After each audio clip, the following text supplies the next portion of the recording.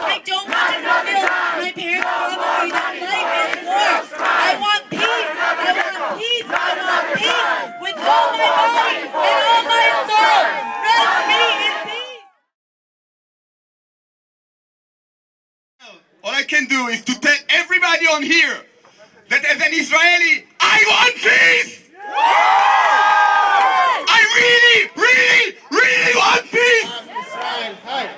I am Arab American, and I am sick of being vilified. I'm sick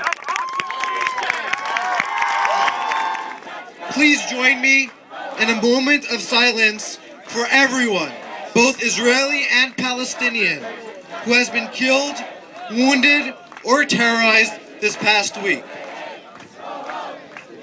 I ask for a moment in silence for Israelis and Palestinians killed and wounded this past week.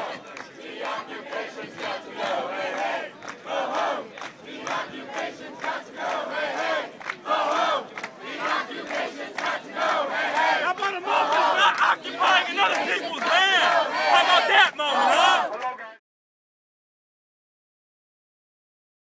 We strongly reiterate our support for Israel's right to self-defense as a barrage of missiles from Gaza are attacking the people of Israel and endangering innocent lives, said Senator Gillibrand. The passage of this Senate resolution clearly expresses the United States' unwavering commitment to the security of our nation's close and historic ally in the Middle East. We firmly stand with Israel against terrorism. The passage The following is a statement by Congresswoman Ros-Lehtinen. As Israel defends its citizens from Hamas and other violent extremists, and as rockets from Gaza strike Israeli civilian targets as far away as Jerusalem and Tel Aviv, the message from Congress is clear. We stand with Israel!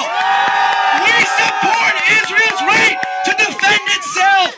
We condemn Hamas and other extremist groups their state sponsors who seek to murder innocent Israelis and destroy the Jewish state. Today we have invited you not to talk and not to listen, but to act.